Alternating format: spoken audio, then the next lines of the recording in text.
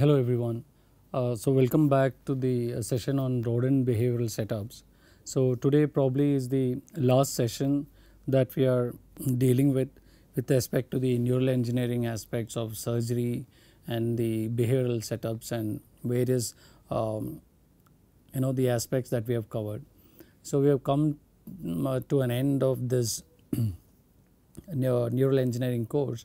Uh, so I'm trying to wind it up with the very important aspect of the uh, one of the behavioral models that is uh, popular uh, that is of the Parkinsonian model.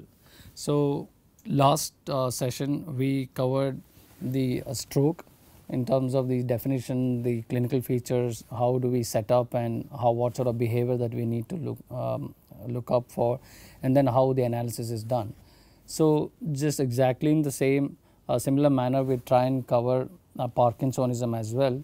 Uh, this is uh, a particularly uh, very popular model as I said both for from uh, pharmacology you know and where they conduct various drug trials and even the newer discoveries of drugs are based on rodent models and then of course the the entire neural engineering aspect comes in where the brain computer uh, interface devices are implanted in the rodent and then Parkinsonian uh, model is created to analyze those uh, various implants.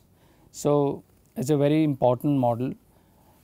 What we are trying to cover is the uh, basic aspects of the uh, Parkinsonian model which is, which serves you as a foundation and on top of which uh, you can sort of modify based on your research questions. So, first and foremost how do you define Parkinsonian disease? What, what, what is what exactly is Parkinson's disease?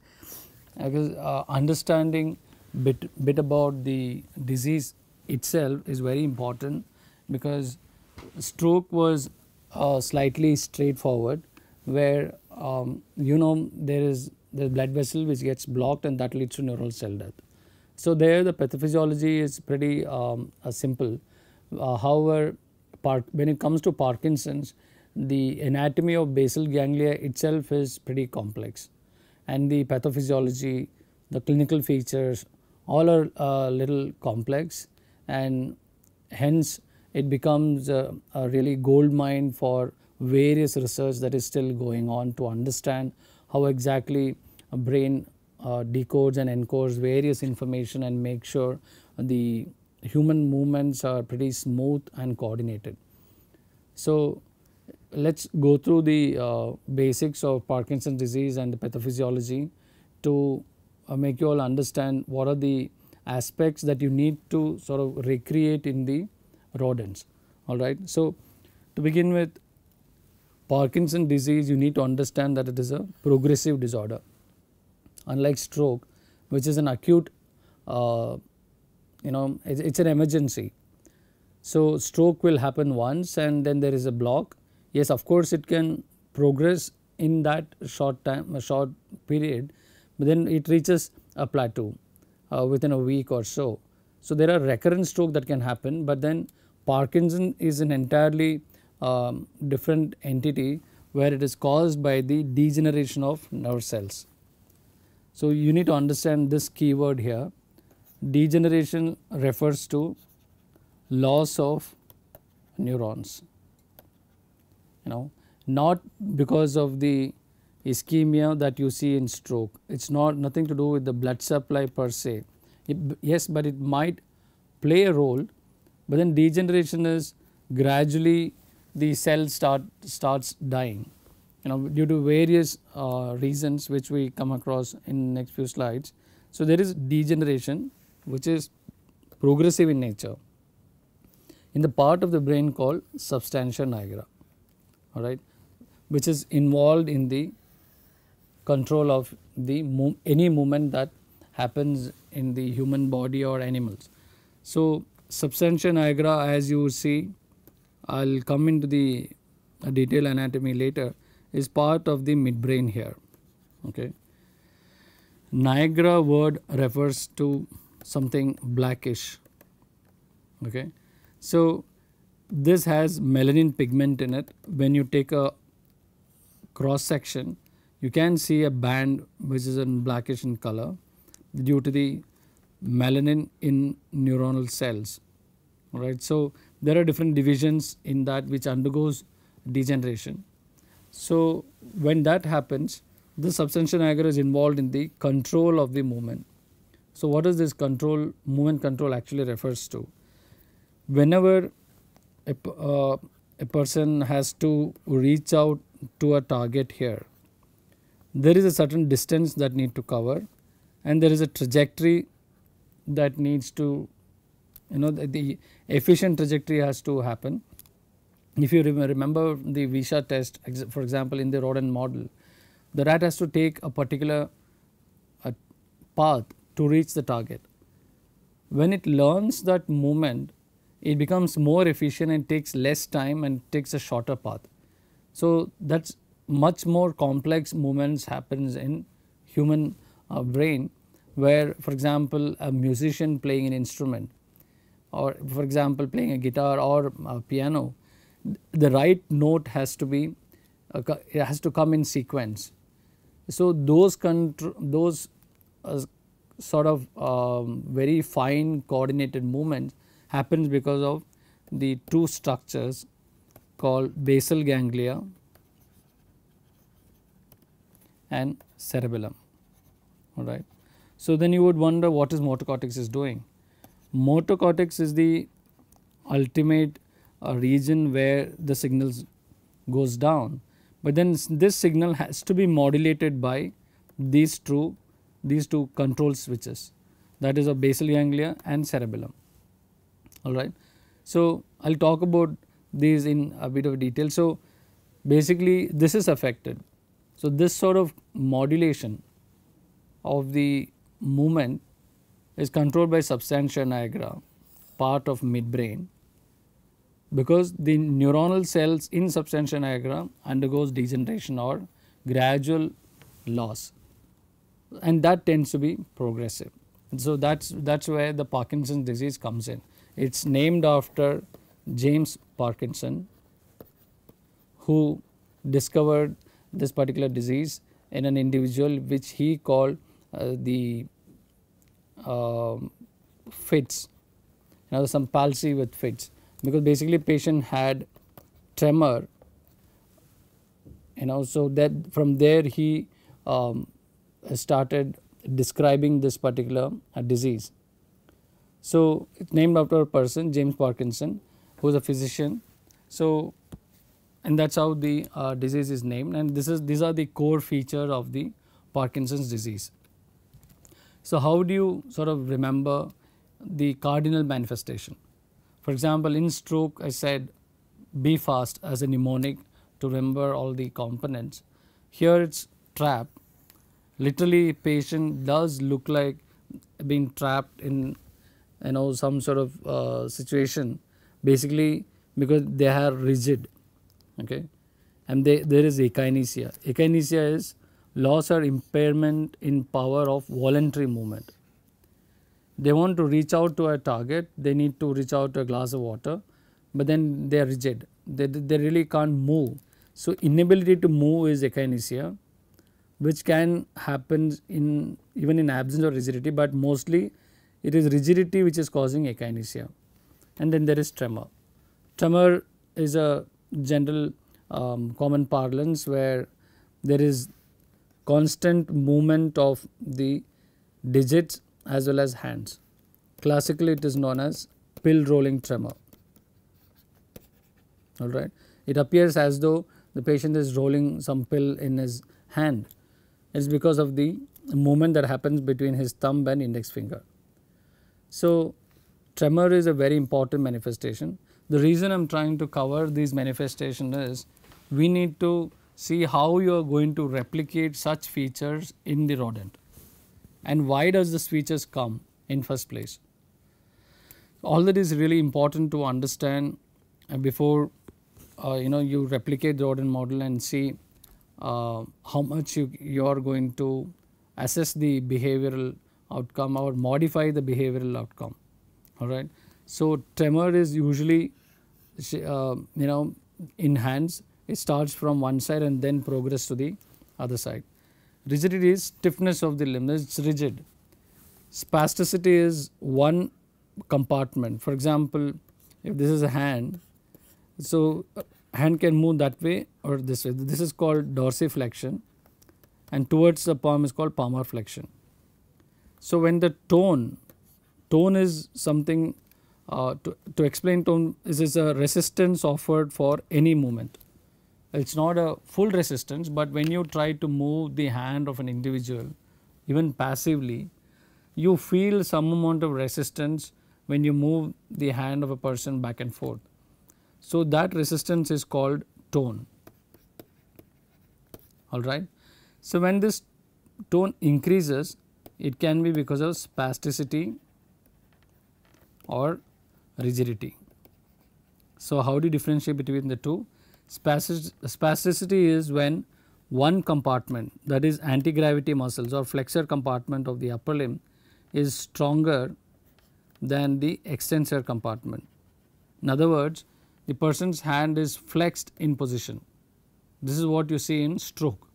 Stroke causes spasticity where one of the component the tone is increased and if the tone is increased in both the compartment flexor and extensor that means it is called you know that that's that's the um, manifestation of rigidity. When you are really not able to move you know either dorsiflexion or palmar flexion then you will say the the person's muscles are rigid. You know classically it is known as lead pipe rigidity. It is really stiff. You are really not able to move that uh, because of the increased tone and all all of his group of the muscles. So, that rigidity that sort of rigidity leads to akinesia alright. So, all this can affect person's posture and balance which is also a very important function of basal ganglia to maintain the posture mainly by acting on his axial muscles. Axial muscle is something comes around the vertebra. If you remember the rodent spinal anatomy Similar to that, uh, the human basic anatomy will have paravertebral muscles. So, those are the muscles which maintains the posture. You know this is back. So, in back of any um, person there are these muscles come latissimus dorsi comes and then there is levator scapulae then there are uh, trapezius most important is erector spinae muscles and then the, all these lumbar paraspinal muscles all these muscles act together to maintain the erect posture. So, when the rigidity affects those muscles, it causes postural imbalance.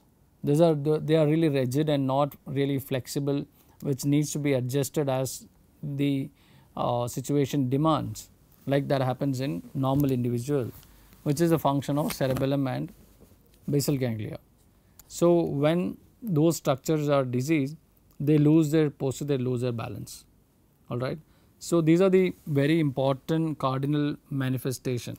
So along with that, they'll have masked a facial expression, where there are hardly any features in their face. You know, the blink they don't blink very often. They look just uh, the same. There is no emotional component seen in there. Not just not that they don't want to smile or anything, but they can't. You know, the, because the muscles are rigid. It affects every single muscle in the body. And then there is forward tilt of the trunk. And then this arm swing is reduced, hip and knee will be slightly flexed. And this is very important the gait disturbance. They have this short shuffling gait alright which is called Festinian gait. And that is the reason why they tend to lose balance. When they walk it looks as if they are trying to catch up with the gravity. And there is a there is always a tendency to fall and they do develop a lot of these frequent falls injuring their head. Okay. So, these are some of the very important manifestation of Parkinson's disease.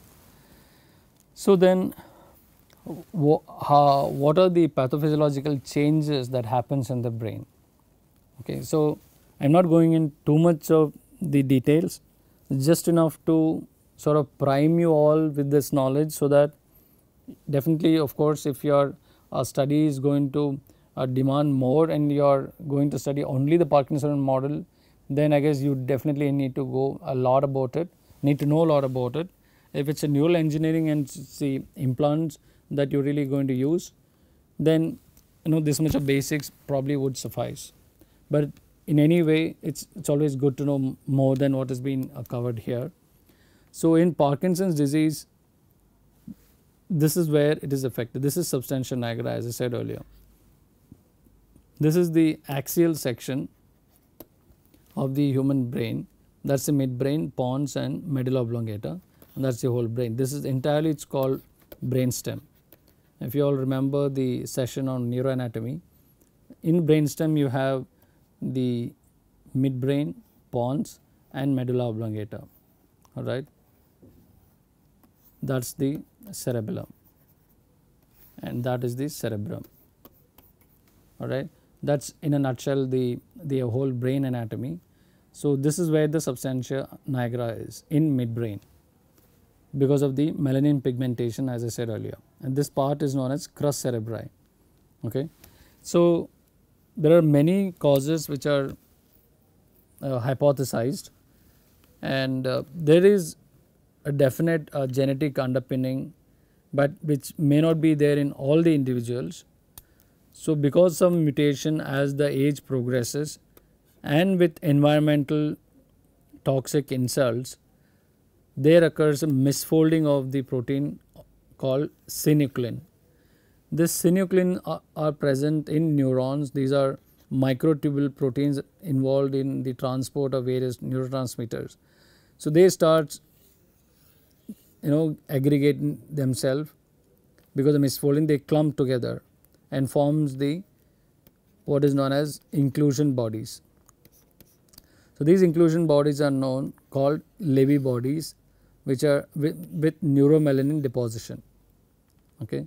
So, that is the basic pathophysiology. For some reason this synuclein starts getting aggregated and they accumulate to form inclusion body known as Lewy bodies. So, PARK1 gene is what is in, in there are many uh, genes this way. So, genetic mutation along with environmental factors causes the misfolding of this alpha synuclein protein which tends to get accumulated in the neuronal um, cell bodies called Lewy bodies and then that would you know stimulate our immune, immune system to cause inflammation and mitochondrial dysfunction that would release the reactive oxygen species. So, this is one of the uh, pathophysiological mechanism where the neuronal cell death appears, you know, the appear. So, inflammation, mitochondria, all that would lead to oxidative damage to DNA, lipids and proteins. And then there is alterations in dopamine metabolism, obviously the entire metabolic chain get disrupted and ultimately cell death happens that is called apoptosis. So, that is how the process begins and it is progressive unfortunately. So, once this process sets in it is it is going to be progressive involves multiple areas in the brain and patient is going to uh, manifest with various clinical feature we just described all right. So, that is the basic pathophysiological mechanism. So, now let us look at the circuitry. What you saw until now was a bit of anatomy with the pathophysiological mechanism, but then if you go bit of detail into the uh, basal ganglia which is a pretty complex three dimensional structure in the core of the this is human brain anatomy alright. So, I am just trying to say where exactly things go wrong and what are the circuitry involved because all these has its role in the manifestation that is the ultimate behavior of the human patients or for that matter even animal. So, this knowledge is important not only to know where you instill drugs to create Parkinsonian model, but it also becomes a target for various uh, neural implants that are involved in uh, deep brain stimulations. So, we will be using a lot of you know these uh, terminology like globus pallidus, subthalamus nucleus, substantia nigra, you know striatum. So, it is very important that you familiarize with these terminologies and we will see in, in simple terms how these structures are arranged and what are the relations with each other. So, the basal ganglia neurocircuitry has two pathways. So, it is basically a wiring diagram if you see every single uh, function in human brain it has its own wiring net I mean those are networks. For example, motor system networks has primary area, secondary motor area and then its relation with the sensory uh, cortex, how it forms a corticospinal tract and then descends down into the spinal cord. So, that is how the motor system work. But then it is also important to understand these neuromodulatory functions of basal ganglia and cerebellum because various pathophysiology, various um, clinical manifestation um, appears because of the um, diseases affecting this particular part of the nervous system. So, let us look at the first section of direct pathway. It is called direct because it is a simple loop wherein the information from the motor cortex goes into the basal ganglia, it is processed over here and then sent back into the motor cortex for modulation. Alright, then the final output descends into spinal cord. So, you all have to remember that this higher center maintains the tone by influencing the alpha motor neuron of spinal cord spinal cord. If you remember the axial section of the spinal cord, it has dorsal horn and ventral horn. The ventral horn has the alpha motor neuron and gamma motor neuron. It is the alpha motor neuron which receives input through the interneuron and then the final output that goes to the muscle belly is through alpha motor neuron. So, this tract is corticospinal tract and there are other tracts called reticulospinal tract, rubrospinal tract and vestibulospinal tract. So, all these tracks comes from various different structures. One is reticular activating system, other one is red nucleus of the midbrain, then there is vestibular nuclei of the um, medulla and pons. So, various structures gives rise to these fibers and has, has influence on the tone that I was talking to you all about. So, this tone is regulated in this way. It is the higher center based on the information from the motor cortex and associative areas decides that yes now the tone has to change for the person to make a final movement alright. So, that regulation of tone is very very important alright. So, cerebellum controls this tone indirectly by sending the information back into the brain and then there is a modulation happens in basal ganglia then the final output comes through the corticospinal tract as I just explained. So, this entire thing happens in the basal ganglia through two pathways one is direct and the indirect. So, the major component is obviously the motor cortex from the motor cortex it goes to striatum. What is striatum? Putamen and globus pallidus together is called striatum. It is confusing. Let me erase this for you. So, this whole structure is called striatum which will have caudate and putamen alright. This is globus pallidus. So, sorry once again let me go through it. So, caudate and putamen sends the inhibitory influence to the internal globus pallidus. This is this is globus pallidus so, this is globus pallidus externum, globus pallidus internum, alright. So, this is caudate and this is putamen. So, these two are called striatum. So, when it sends an in, uh, inhibitory influence on the internal globus pallidus and substantia nigra pars reticulata. So, this is this is an inhibitory uh, influence from the striatum, alright. The motor cortex stimulates the striatum, striatum inhibits the um, internal globus pallidus and substantia nigra that sends the inhibitory part to the thalamus, but thalamus to cortex is excitatory. So, ultimately the thalamocortical is internally it is always excitatory alright. by status uh, it is always excitatory. It is a tonic uh, neurons which sends the excitatory signal.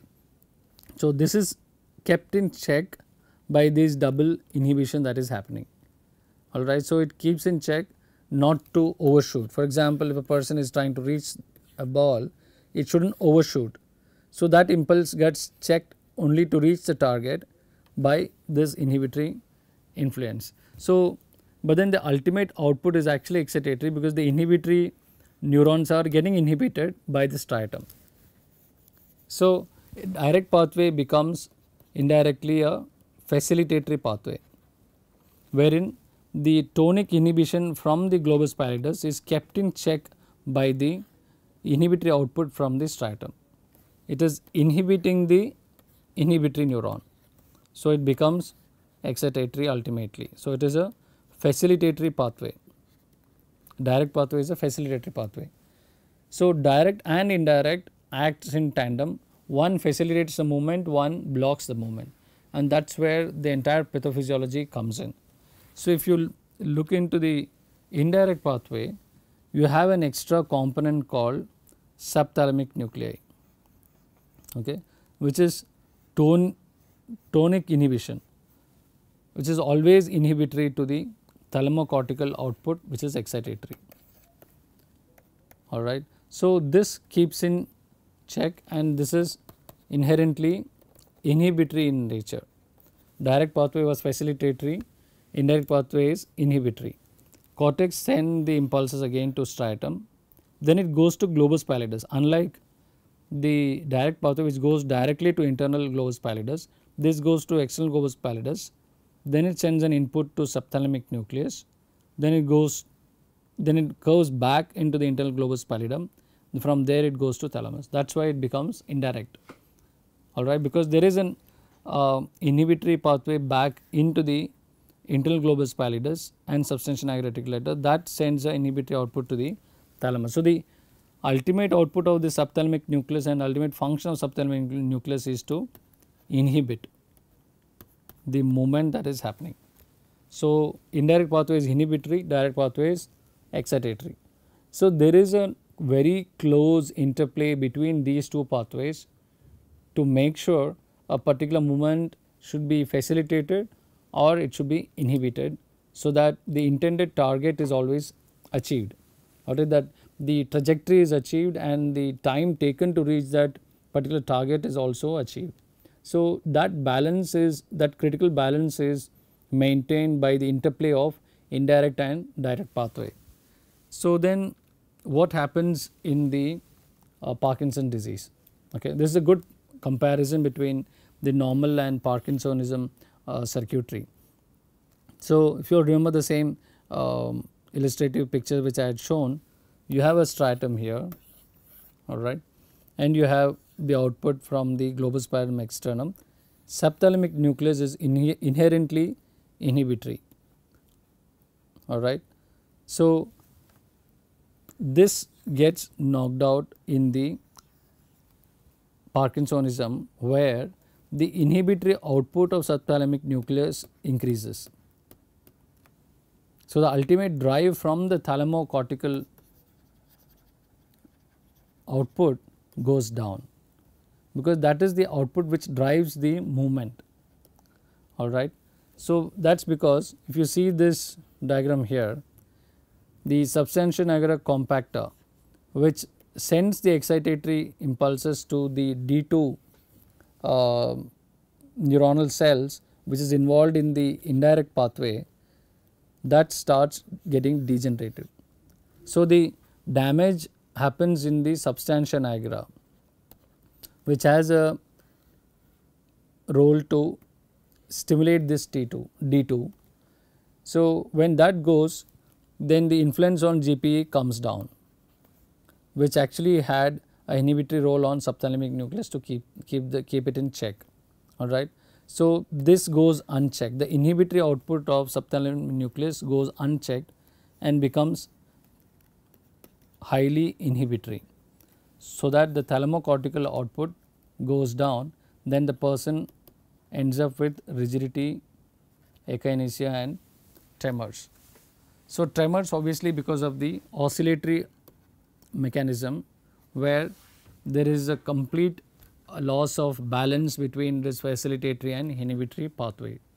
So, all you need to remember is that the degeneration happens in the substantia nigra compacta, then the subthalamic nucleus takes over and inhibits the output from the um, internum and it reduces the thalamocortical output.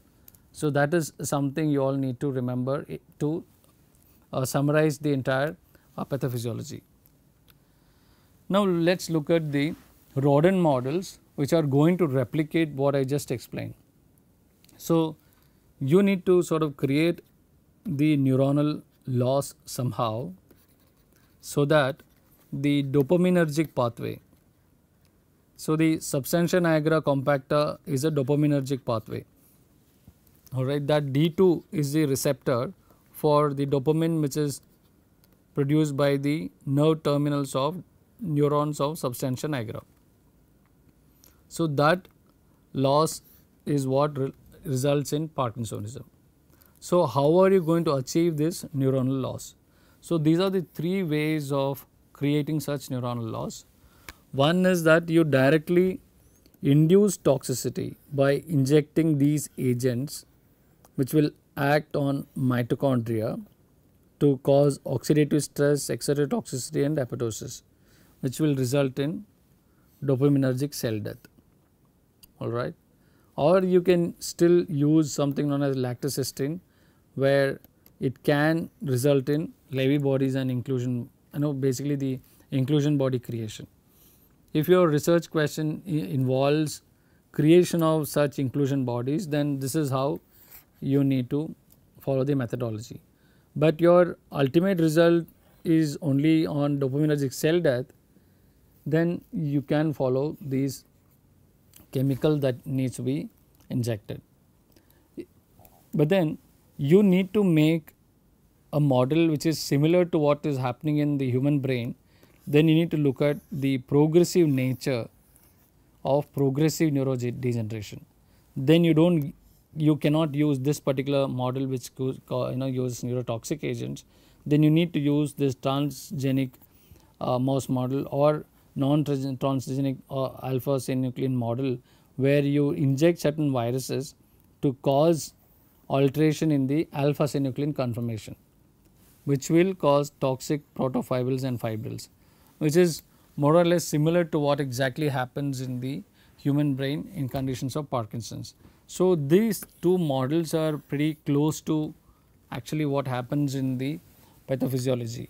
Though the understanding of Parkinson's are is still evolving, still lot of theories are changing, there are many new uh, toxic uh, agents are discovered. So, in order to be as close to the uh, human model as then you need to use these kind of models. But if it is only enough to study the manifestation of Parkinsonism, then you can just use the toxic agent and this is one of the easiest of the um, Parkinsonian model that one can rely on because it all it requires is a stereotactic injection of these uh, toxic agent directly into the basal ganglia. Alright. So, these are the manifestation of various models that can be used. In a rodent model it causes motor deficit, Lewy body creation if you are using these kind, this particular agent. And you can see some amount of alpha synuclein in inclusions as well if you use MPTP which is very uh, toxic even for the person who is using to create such models. Or you can use the same thing in the primate model, there are mice model, there are Drosophila model, there are so n number of Parkinson models are available to conduct your research in particular in this particular Parkinsonism disease. So, when it comes to the rodent uh, basal ganglia this is how it appears and that is the location. So, if you all remember the uh, neuroanatomy rodent neuroanatomy these are the uh, various subcomponents that can sort of mimic the uh, human brain. So, you have caudoputamen globus pallidus externum internum subthalamic nucleus there is substantia nigra compact and reticular. So, all these components are are available to mimic what happens in human brain. So, what has been shown in the example is the usage of 6 OHDA that is 6 hydroxy dopamine. So, this is the excitotoxic agent that can be injected into the uh, striatum. Then one can uh, notice that there are some changes in the volume of this particular nuclei that is brought about by the 6-OHDA. Alright. So, those, though there are no gross changes, there are definite changes that occurs in the loss of the dopaminergic neurons. Alright. So, that we will look into it. So, in this uh, particular session we are considering only the 6-OHDA model that is 6-hydroxy dopamine 6-ODA what we popularly call. So, that model creation is pretty easy and straightforward. So, the surgical aspect has been covered just to summarize you will be using the Hamilton syringe which is a, a micro syringe of capacity of 10 microliter. So, once the rat head is stabilized you make a small twist drill hole using the drill and then get the Hamilton syringe uh, cannula into the brain in this part this particular uh, target of striatum or another area the target that is commonly used medial forebrain bundle. If you are targeting striatum it only cause partial dopaminergic loss alright. If your study wants to uh, induce a partial Parkinsonism then striatum is a good target to consider. I mean this is a, a stereotactic coronal slice if you all remember that it will have grid lines. So, all of you remember how to calculate the stereotactic coordinates for any particular nucleus that you are choosing or any particular target that you are choosing to inject. There are two commonly used targets are striatum and medial forebrain bundle. Medial forebrain bundle causes significant loss of dopaminergic neurons and produces complete